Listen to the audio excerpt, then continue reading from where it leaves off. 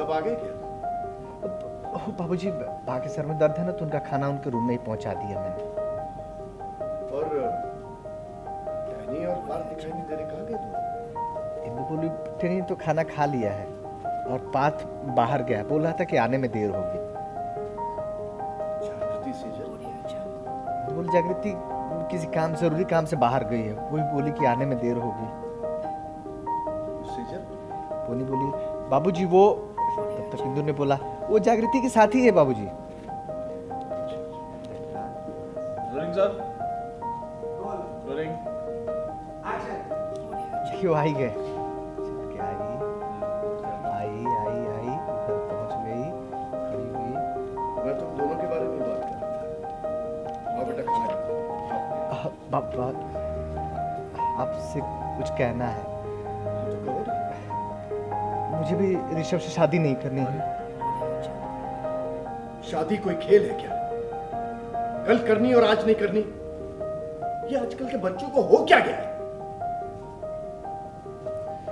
लीजिए दोनों क्या रहे हैं? देखा हाथ में हाथ डाले और लोग आ रहे हैं। हाथ के आगे हो गई। देखा दादा ने बोला लो। अभी तुम दोनों के बारे में ही पूछ रहा था। आओ चलो खाना खा लेते हैं।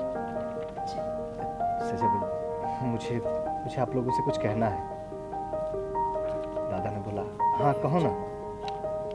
सजा बोली दादाजी वो मुझे ऋषभ से शादी नहीं करनी।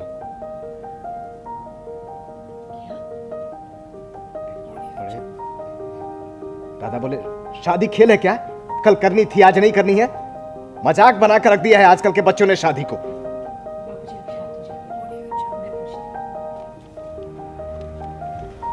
कितनी बड़ी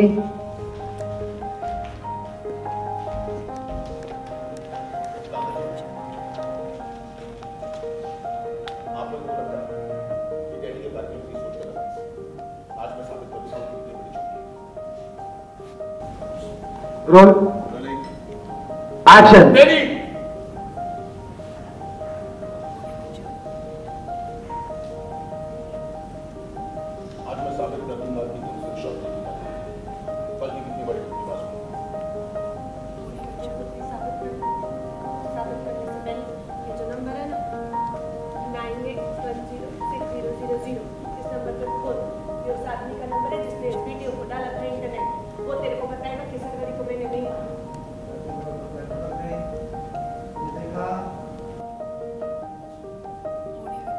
hello hello भाई साहब आपने कुछ दिन पहले एक वीडियो अपलोड किया था एक्सीडेंट का?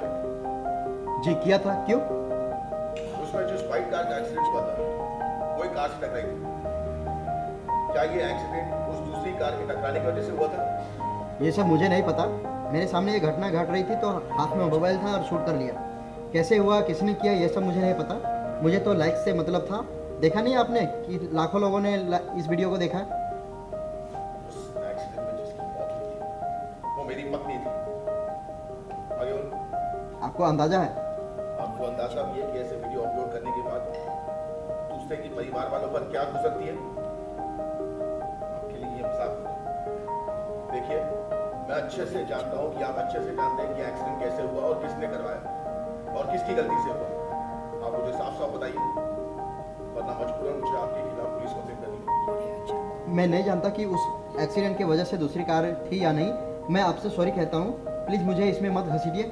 मुझे हायर स्टडी के लिए अब्रॉड जाना है कुछ दिनों में। पुलिस एक्सीडेंट के चक्कर में मेरा करियर ख़राब हो जाएगा। मैं मैं अभी उस वीडियो को डिलीट कर देता हूँ।